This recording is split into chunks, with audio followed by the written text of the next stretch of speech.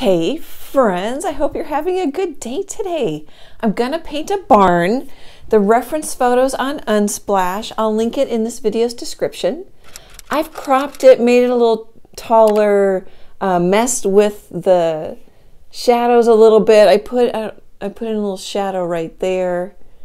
Made this a little darker and redder, made this a little lighter, but you'll you'll know it's the same photo when I link it in this video's description. I'm going to paint it on a 10 inch by 10 inch canvas from Michaels. The usual, if you've been watching my videos, inch and a half thick. It's gallery wrapped and splined. It has a little rubber gasket in there. And I'm going to use Phthalo Blue Green Shade, which I use that color a lot. I'm going to use yellow oxide. I'm going to try to do a softer, more muted painting. And I'm going to use red oxide. Those will be my three colors colors in quotes. And then I'm going to use black and white. So titanium white and Mars black. Okay, let's get started.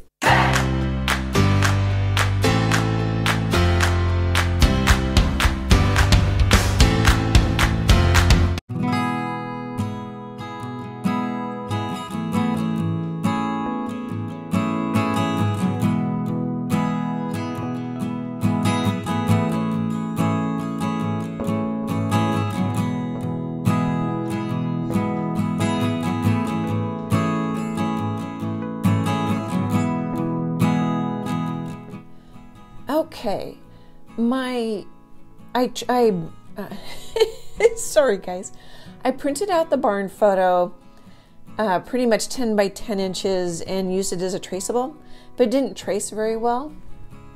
So then I came back in and sketched in with a black charcoal pencil what was missing. I put out phthalo blue green shade, quite a bit of white, and some Mars black and there's more black than blue in this combination. And it kind of looks like a rainy sky. I might brighten it up, but I'm I'm telling myself I want a more muted, softer painting. So I'm going to put out some yellow oxide, mix some greens, and work on the, the background here. If you don't have yellow oxide, just um, like a little brown in your yellow Hmm, I'm running out of it. Um, does it say on the tube? Looks to me like there's a little brown in, a, a cad yellow. Um, Golden has a lot of mixing.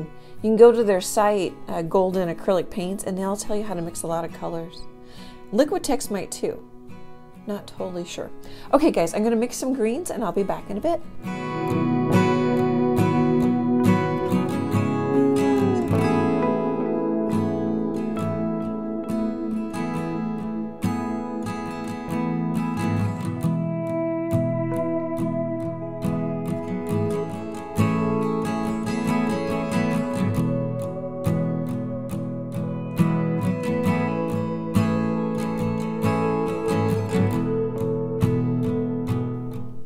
Hey friends, let's talk about color for a little bit. So I mixed um, yellow oxide with just a pinch of phthalo blue and got a yellow green, uh, yellow oxide with a little more blue and got a pretty, pretty good green there. I like that. And then uh, yellow oxide, more phthalo blue and black to get a darker green. And then I'm kind of mixing a little bit off to the side from there. I put out some red oxide and then mixed some black with it and got a rusty red brown. I think if I add a little more black to it, I might get a more of a burnt umber color. But I wanted the brown to add some white to it and some black to it to get kind of this putty color to a little bit warmer color off in the distance.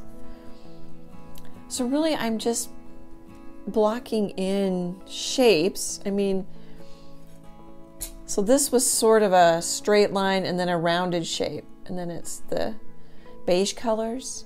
And I'm just kind of scribbling with a brush just to get some paint down there, get some values down there. Oh, for the sky, I don't think I've used, mentioned my brushes. So for the sky, I used, oh, is it wearing off? Oh no, there it is. A three quarter inch, 19 millimeter Royal and Langnickel. It's their Zen line. It's a flat brush. Um, for some of the little trees and grasses in the background, I've just been using, I think that's a quarter inch, might be an eighth of an inch. Uh, number six brush from Craft Smart. I got it at Michael's.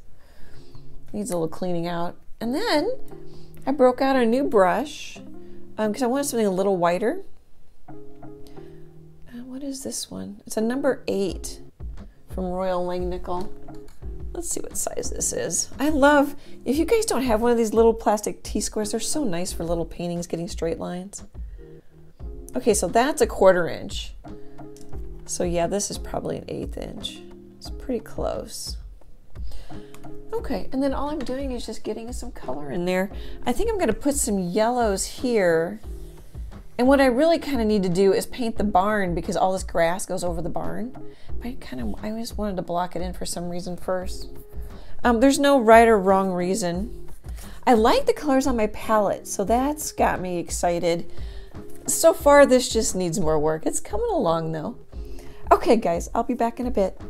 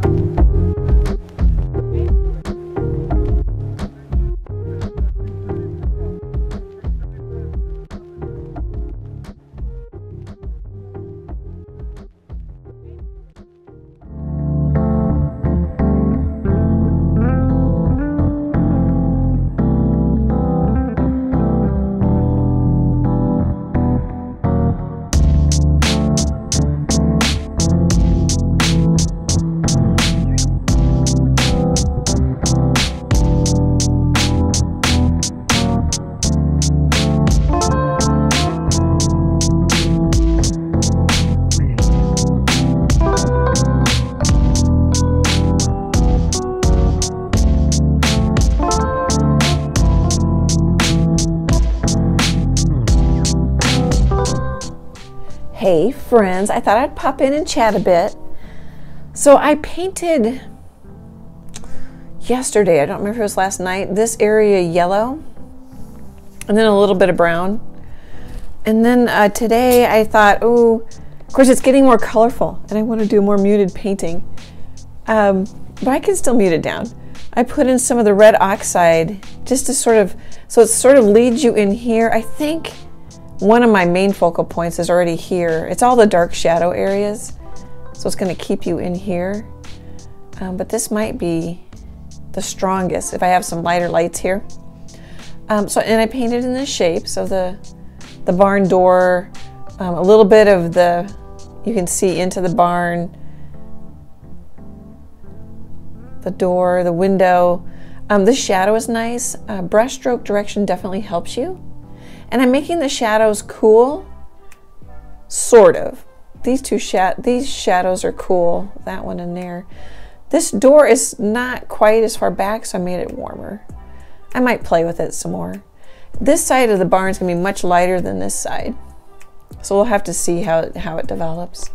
Um, um, I made a little, um, um, I made a little orange, pretty orange with the, um, what colors my yellow oxide and red oxide made of kind of pretty pumpkin orange. I like that. I already mentioned the browns. I made quite a few greens. Oh, I put some of the blue into my shadow too to tie in the sky. Some of the blue in the windows. That's about all I'm doing is painting the shapes. But I'm going to quit for today. I won't be back until tomorrow, so I thought I'd pop in and make a few comments. I'll see you guys tomorrow.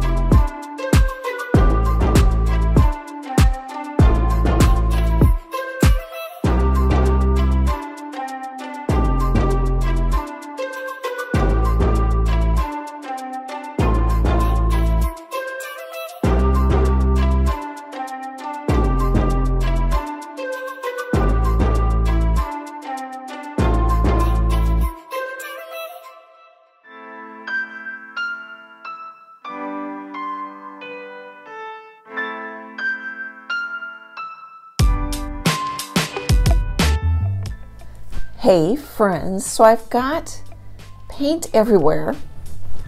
I was kind of playing with some of the boards, some of the texture of the barn. Um, I like the color. I know I said I was going to go more muted. I'm looking at it in my phone. Of course, I don't know. I might put in some more greens here, which would cool it off a little bit. This looks more fall with the rusties and the yellows, which I don't, I don't mind that. Uh, what else do I want to say? I think this side of the barn is pretty good, and this side could actually go darker. If I'm going to follow... So I adjusted the reference photo a bit from what you'll see if you click the link in this video's description. I don't know. I'm looking at that. Yeah, that's definitely darker. It has more contrast. This is more blown out, but I don't know if I want it wanted quite as blown out as it is in the photo. Um, I haven't added any more colors or anything. I'm just using all the same same colors as before. I think it'd be a good time. It's dinner time. It's the next day. I think it'd be a good time to stop, take a photo of it, step away from it, kind of slow down. Oh, I've been using a quarter inch, maybe a 3 8 inch flat brush from Royal and Langnickel. It says it's a number 8. I've got paint on it. It's their uh, Zen line, I believe. I've also used, oh, this is a little liner brush from Royal and Langnickel. I don't know, it's something over zero. It's getting worn, but I used it for the trim for some small areas. What else have I used? I don't know if I've used anything else.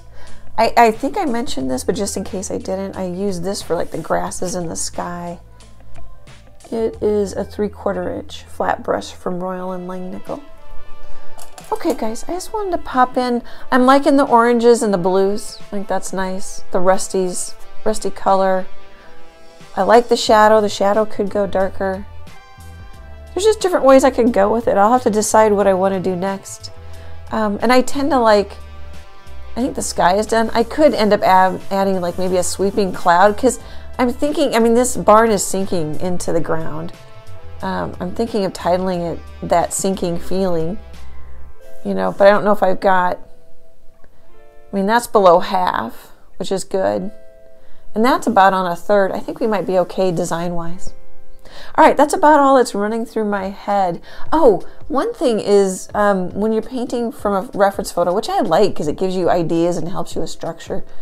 But like if you're not getting enough contrast, like lighten an edge or darken an edge to get more contrast, you don't have to follow exactly the photo because I want this line to show up. So really I might want to darken his shadow a little bit more. Um, here I'm okay with it being similar in value and that line isn't showing up nearly as much. Okay guys. Oh, and then I um I I painted down the barn down a little bit more, but then I realized it didn't make sense, so then I just scribbled in some dark green for now because the grasses are going to come up even more over when I put in some detail. Oh, and I might put a light just to add a little more detail over in here. And I barely hinted at the the windows, which is which follows the reference photos. I just put in hinted at two. I think you can see almost four in the reference photo. Okay, guys, I think that's enough comments. I just wanted to pop in, and let you know what I'm thinking, and I'll be back in a bit.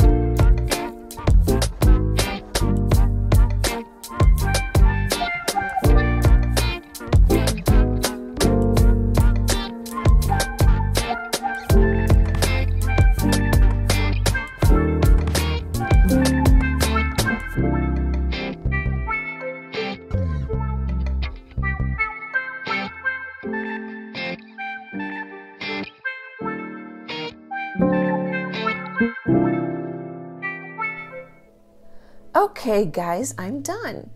And I'm calling it done because I'm not making changes um, that are improving it.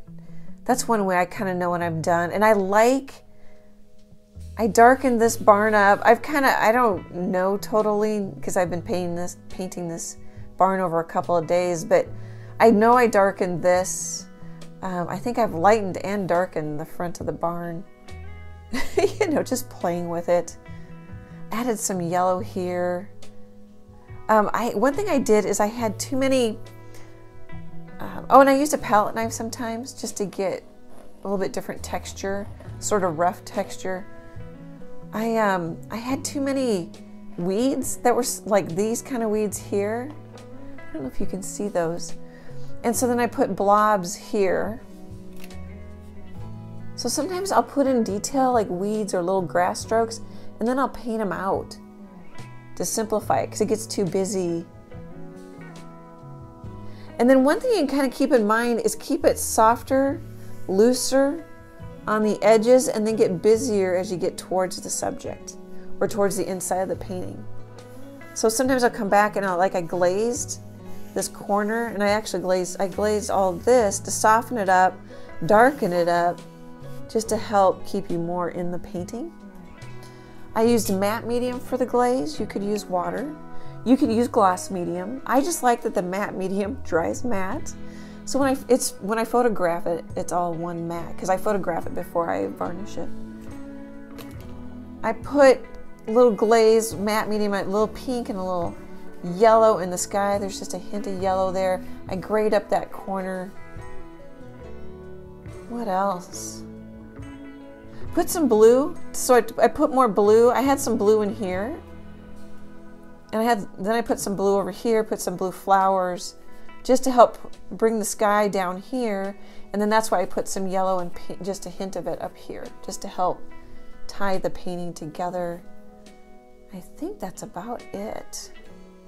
Um, this reference photo, which I've mentioned, I'll link in this video's description, is the same reference photo I used for this painting. Here, this is a little bit bigger. It's a 12 by 12. And I was going to do this one more muted, and I didn't. I ended up liking the colors. And then this one's pretty colorful too, but some of them are pretty deep wine colors. And you can see it's the same barn, but this one I you can watch me draw it on. And I it, it's a little sturdier, except for it has a broken piece over here. And I like the little lamp. That's kind of fun. Um, the tree trunk's actually kind of pinks. I, I'm going to stop commenting on this because you can see what I said about it in the video. But it's the same reference photo. I'll link that this that barn I just showed you in this video's description too. Here, I'll give you a little tour and then we'll say goodbye. Oops, I'm gonna move my palette. So a simple sky. I've got a video. Um, just ask me in the comments if you want to. I can get you the link or comment back with the link. I don't know if you want to kind of see the texture of the barn. I thought this was fun. I don't think I, didn't put it in the other barn painting, but that stops the door from going all the way off this metal piece. I'm like, oh, kind of need that. I really like this blue window because you have the blue window and then the blue sky, so that's fun. So here I had all, see I made this blobbier and then these have more little dots and grass brush strokes in it. I took out quite a bit of the yellow, which I like. I mean, it'd been more of a fall painting if I left more of that goldy yellow in there. Uh, yellow oxide, but I like, I like that I took some of it out. Can have little hints of orange here and there, a little rust. Okay, guys, let me know what you think. It's really fun. Um, so the same barn reference photo painted sort of differently, two different ways. I love the comments. Thank you so much. It's so fun to chat with you guys.